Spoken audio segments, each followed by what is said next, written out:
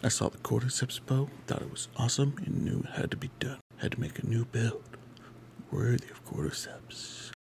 Of course, it's gonna use toxic rain. Keep that nice fungus color. Ooh, that's a nice MTX. It has to be different than the toxic rains they know now. It has to be fast. Let's be able to juiced up wacky maps.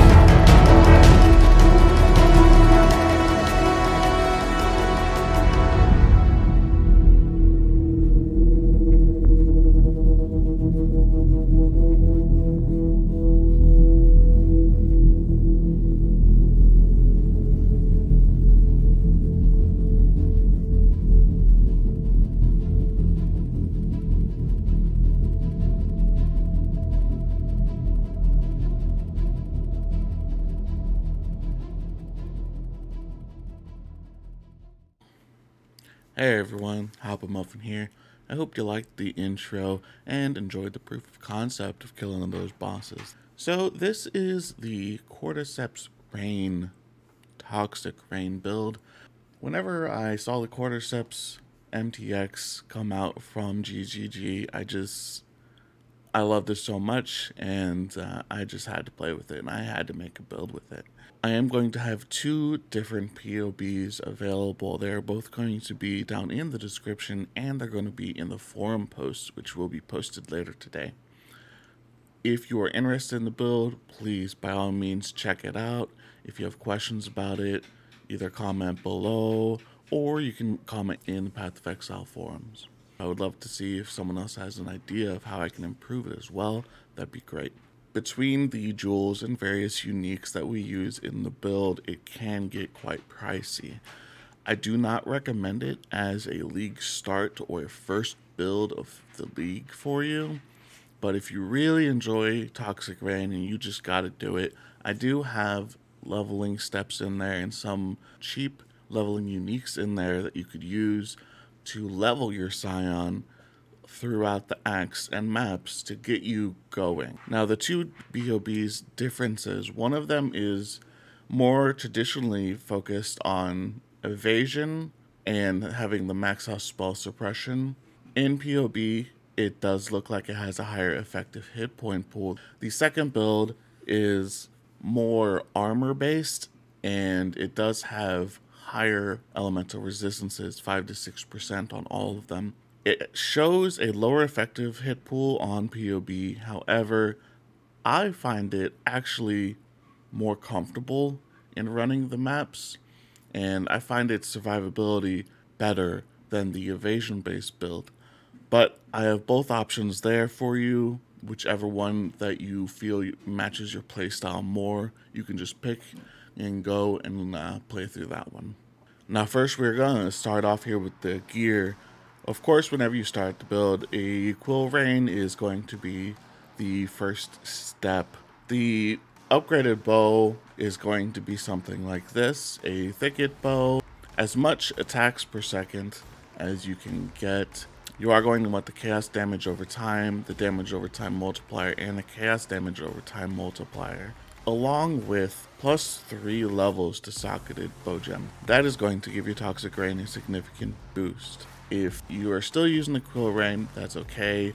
The build can do quite well on Quill Rain, but if you're trying to optimize, you are going to want to upgrade the build eventually. Now the quiver that we have the damage over time multiplier with attack skills and chaos damage over time multiplier with attack skills. The other parts of this quiver the life, gain life, randomly killed, and armor, those are all meant to help with our survivability. These quivers really aren't that crazy hard to get.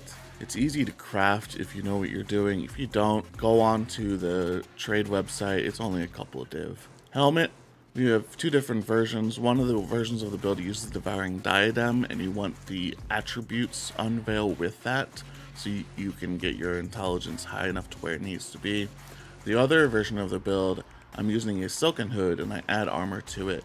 The reason I'm adding armor is one of the masteries that we use on our tree is that if all of our equipment has armor on it, we get plus one to max resistances. But otherwise, we do want to make sure that we get as much life as possible. We want to make sure that we get our mana reservation efficiency and meet our stats. Here's our gloves and our boots. Gloves, of course, you want as much attack speed as you can and life. And then on our boots, we do get our 100% chance to avoid shock, which will give us all of our elemental immunities. And then we also wanted the increased damage with non-Vaal skills during soul gain prevention. What that means to people who haven't used it before, whenever you use your Vaal haste, you will then get a 71% increased damage with all non-Vaal skills, and that includes our Toxic Rain. So not only is Vaal Haste helping increase our DPS crazy whenever we're attacking stupid fast. But we're also just doing more damage naturally because of this modifier. Amulet, we have a replica Dragonfang's Flight. Now the Amulet I did go back and forth a couple times between a couple of them, but I felt that the replica Dragon's Fang's Flight with our Toxic Rain actually ended up helping me the most throughout this build. And then whenever I ended up double corrupting it, getting that determination has increased our effect, it just kind of sealed the deal. These amulets really are not that expensive for Toxic Rain, so if you're able to get a couple of them and then go and just try to double corrupt, that would be magnificent and it would help your build quite crazy. The only other thing other than determination I would really want on the amulet would probably malevolence increase our effect or something that adds attack speed. Now with our rings, we have several different versions here and several different rings that you can use for the build. In the end, on my armor build, I ended up using the two unset rings you see here. Help me get those extra two gem slots that I really needed. and making sure I got some of the stats that are on them. The Vermillion ring, if you're looking just for more health, great choice. The Iolite ring there increases your chaos damage and attack speed. And then we also have this really inexpensive ring, the Death Rush Amethyst ring. This thing is like 1C 2C. From the moment you're able to equip this at level 36 until the moment you can afford a higher crafted ring, this is actually a magnificent ring. The adrenaline really helps with the Toxic Rain while you're leveling, going through maps, early maps especially. And then recover 4% life on kill. All those white mobs that you're killing throughout the map, those are just helping you cap your health over and over throughout the map. And then this ring, because it's so inexpensive, it's really easy to go through and try to corrupt and get a nice corruption modifier on there. Body piece here. Okay, so we have two different versions. The evasion based set, I did end up going with the Queen of the Forest. It gives a really high amount of evasion. It gives you all your resistances. It gives you more movement speed because we have so much evasion. And it gives you life. It really kind of just gives you everything you need for this build. And then I was able to get a Corrupt, very luckily, that's plus two levels to Socket Duration gems. So on the evasion based build that we're using, the Quill Rain, you're able to put Toxic Rain into the body piece instead of your bow, and that will actually give your Toxic Rain those two additional levels. For our armor based build, I did end up going with Belly of the Beast, and that gives us both armor and evasion. It gives us our elemental resistances and gives us that much needed higher life pool. I'm going to show the jewels in two frames here. First are the unique jewels.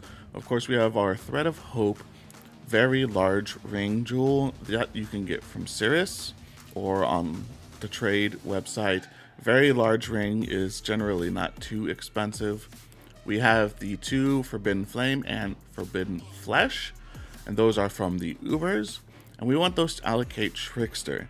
Now, allocating Trickster isn't too expensive, these should probably be less than a Divine each.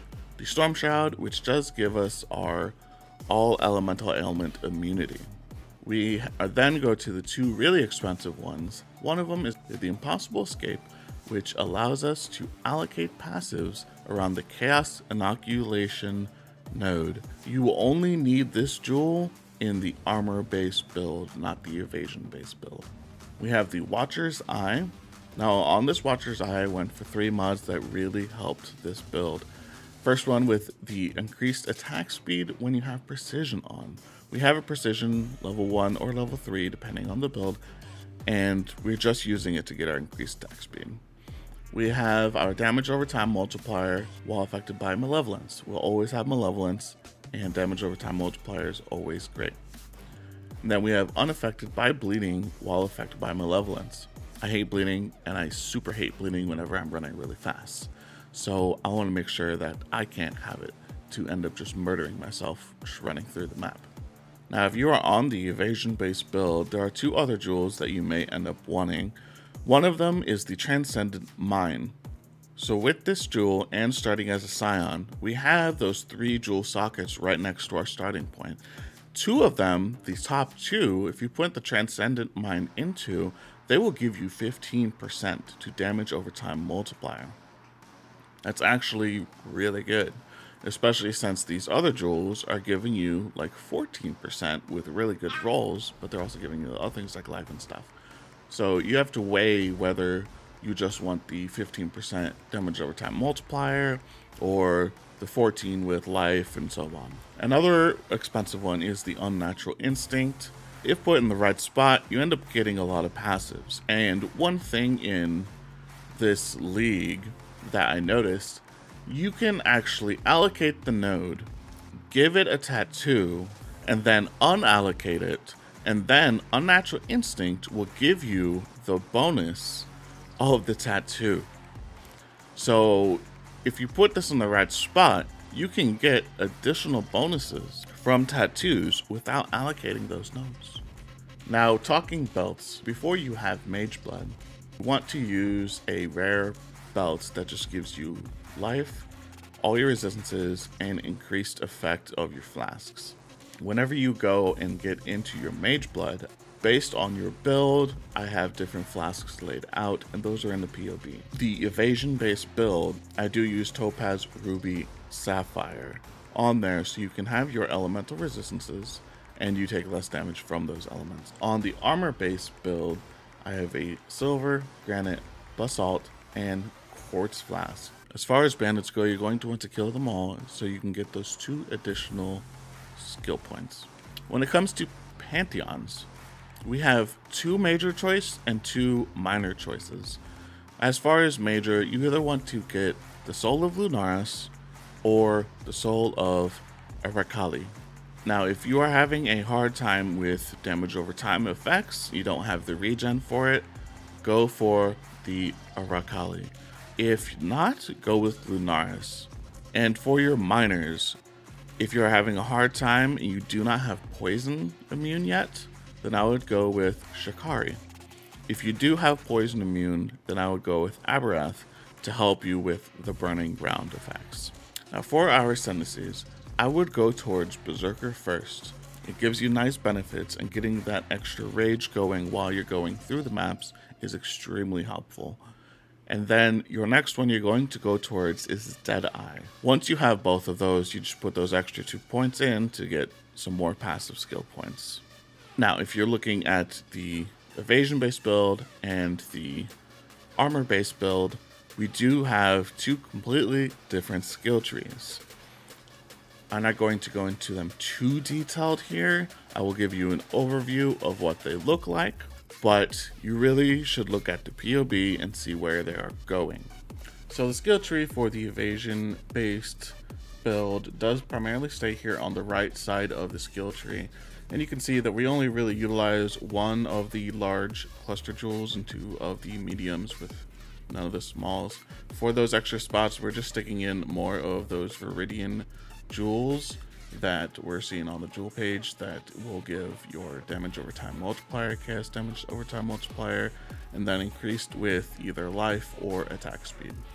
For the armor based skill tree, you'll see that we split off in two different directions. One of them clearly going into the strength area, one of them going back into the right side of the map. And we go straight for those large cluster jewel slots to utilize as much as we can with both of them. And we only really go up to the top part of the tree through the impossible escape that's over there by Chaos Inoculation. As far as the gems and links, I am going to split the screen so that everything you see on the left side of the screen is going to be for the evasion based build and everything you see on the right side of your screen is going to be for the armor based build. First we have our toxic rain links. They are very similar. Then we have our movement. Our movement on the evasion based build I have as dash. On the armor based build I do have Frostblink as our movement based ability. The auras on both of our builds are actually quite similar. On our evasion based build we have Malevolence, Determination, Grace, and Defiance banner. Along with Vaal Haste, we're not using regular haste. On the armor based build we are using Vaal Haste, both the regular version and the haste version, Defiance banner, Malevolence, Determination, Precision, and Vitality. This is what the boot gems look like on my build. The glove gems, you can be a little flexible as where some of them go, but if you have a piece of gear like the body armor or your weapon that have plus two skill levels, make sure you put the appropriate gems in their slots. In the armor based build, we do have Enduring Cry in our helmet. That's because our helmet gives plus one to AoE gems, so we actually have a higher level of Enduring Cry. And that's a wrap for the Cordyceps Rain build. Hopefully you guys like it and some of you can try it out yourselves. Spread the Cordyceps throughout the Atlas. As always, I really appreciate you all taking the time to watch the video. Uh, feel free, if you have any more input or questions, leave comments here or in the forum post. But please remember to like, subscribe, and check out my Twitch channel. Thanks so much. Your absurd defiance ends here, hatchling. The appointed time is here. Victory will be ours. Annihilation. Disintegration. Cleansing. I don't Fires of a thousand suns. Can I not have a moment's respite? You do not have the strength, hatchling. That may be, but I am not alone. Incineration.